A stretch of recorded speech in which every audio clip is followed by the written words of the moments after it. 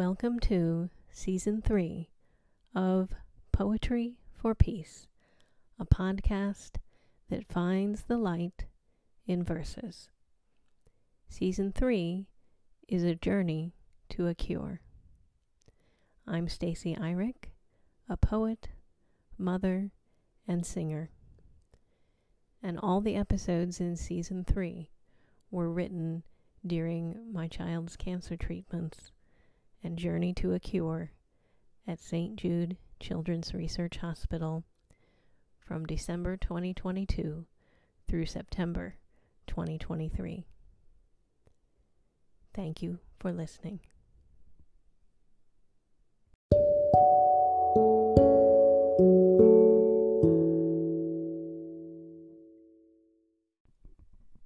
Light keeping. Sunlight brings the children out to the playground, rubber balls bouncing, tiny cars zooming across the basketball court. Their small, bald heads shine against the light, the yellow of the playset beaming bright with laughter as they climb. Their energy seems to lift the air we breathe, bring spring wind forth even though it is still the end of winter. I find a spot half shaded to sit and write. My child passes me the cards, intent on winning another game. I accept them, deal them out, close my computer, shield the cards from the breeze. They count and draw, laying out each number until the game is spent. Shadows fall thicker against the sidewalks as we play. I look up to see the children and their parents have gone. Mid afternoon stretches into a taffeta blue sky stitched with puffs of cloud. March could easily be mistaken for May, except for the coolness of the wind. We walk together Watch a robin gather straw for his nest, beak full to the brim as he flies from tree to tree, searching for the perfect place. We notice small buds on branches, stop to feel them, remark on how there is green where there wasn't before. Over the constant hum of passing cars, birdsong breaks, filling the air with the music of the coming spring. I feel a softness here, where before there was only winter, a brightness filling this space where before there was only gray.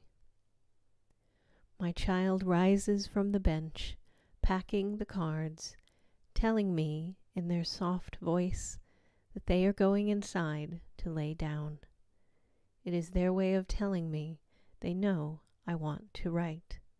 They know today is the sunny space I've been waiting for. It is their way of telling me they need their own space, their own rest. It is their way of giving grace, of giving light when we both need it. I watch them walk away sun on their back, and in this moment, I believe it will all be okay. In this moment, I believe, like the red breasted robin who builds her nest, that time will turn the season of our lives, that spring will come, that life will find a way to burst forth, resplendent as sunshine abiding.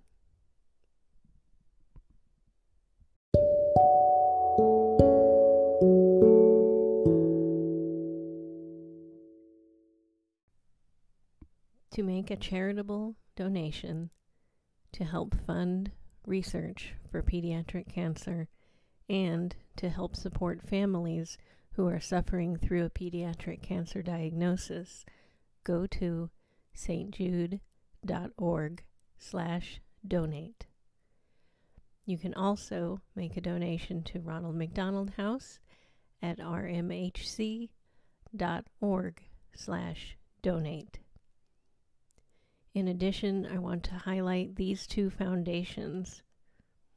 The first, the Pediatric Brain Tumor Foundation at curethekids.org and also The Cure Starts Now which helps fund pediatric brain cancer research. Go to thecurestartsnow.org.